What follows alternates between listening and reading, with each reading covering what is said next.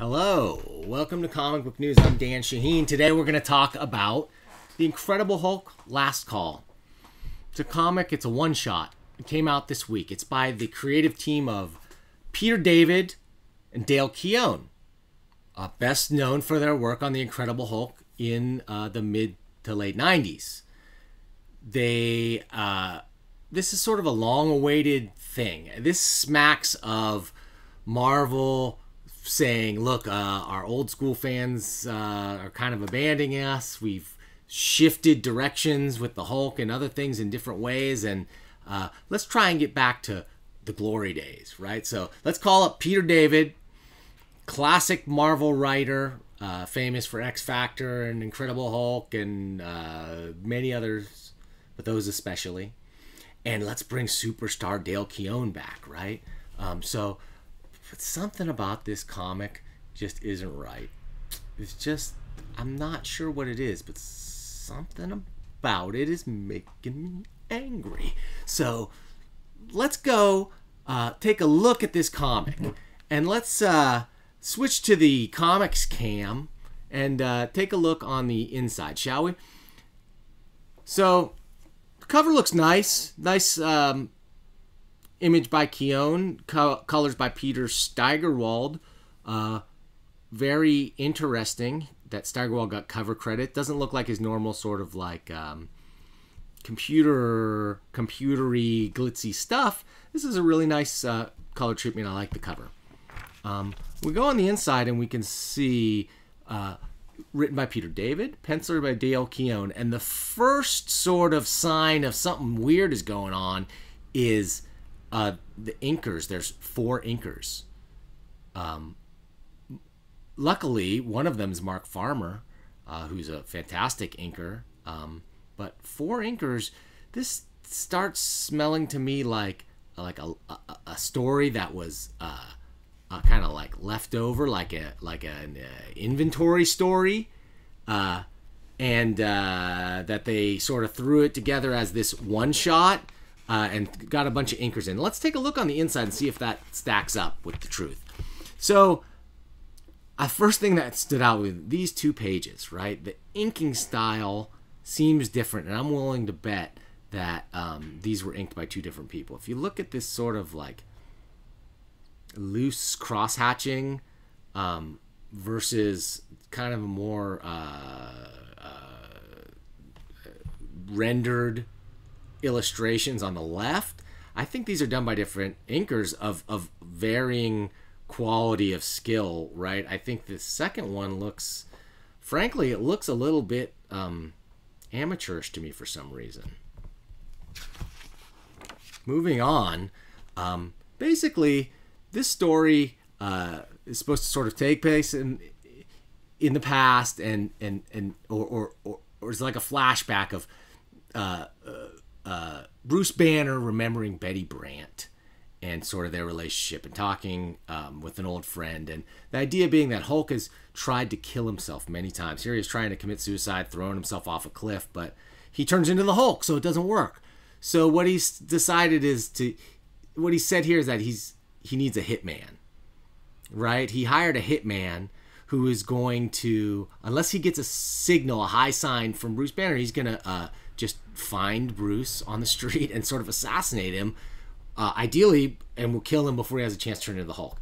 This doesn't really jibe with what we know and have seen of the Hulk in the past, as far as like Bruce Banner getting shot. Pretty much immortal, so right away, this story just seems a little bit off to me. The artwork's a little off, the story's a little off. Um, I think Keown is great. I really loved and enjoyed his work on the Incredible Hulk in the '90s. I read probably every issue. Um, this does not really look like him. If I had to guess, if I were to just look at this art, I would not have guessed Dale Keown. That could be because of the inking, or maybe he lost a step. I don't really know. Um, so the comic itself is fairly boring. A lot of sort of like flashbacks to Bruce and Betty. Um, we do get to see a little bit of this is stuff that uh, Peter David kind of pioneered, which was that that that Bruce Banner really was um, a, uh, a, multiple personality um, disorder, and uh, and the Hulk is just sort of his inner jerk, especially the Gray Hulk, right? And is always sort of like uh, talking down to him and, and, and belittling him, and you know, that's why Banner hates the Hulk for his weakness, and Banner hates uh, or Hulk hates Banner for his weakness, and Banner hates the Hulk for uh, his his uh, violence and, and craziness, right? But it's really just Bruce hit, hating himself. So we get flashbacks to Bruce's wedding and uh, and and some nice domestic scenes um, that are more or less kind of boring. Um, we get Bruce uh, and and and, uh, and and Veronica sort of talking about um, how uh, Bruce really uh, uh, didn't mean to turn into the Hulk, right? That it was an accident when he was trying to save people. His intentions were good, so that means he's a good person. Okay. Anyway, we get flashbacks to when MODOK created a turned Betty Brant into the Harpy, which apparently ultimately led to her undoing. But um, this is probably my favorite illustration in the whole book. Um, it's nice, uh, well drawn, well inked. I would bet this is maybe Mark Farmer on this page because it looks so good. Um, as we go on these next few pages, the, the action is decent, um, kind of like uh, dynamic page layout, at least here, slightly dynamic, but none of this stuff looks great. None of it looks like I remember um, Dale Keown looking on the Hulk. And, and, you know, granted, that was a long time ago. That was 20 years ago. So um, well, we don't know what's happened in the meantime, but um, I, I haven't seen much work from Keown outside of this in a really long time. And if we look at it, just the inking especially gives this just a not super top tier look. Uh, and then here we see the big bad villain of the piece ends up being Mr. Hyde, uh, who uh, attacks Veronica and uh, gets into a fight with the Hulk. And, uh, you know, he's certainly looking a lot bigger than we remember him seeing. He's pretty much Hulk sized, but this one he's such a he's such a jerk that he's gonna insult the Hulk about his dead wife.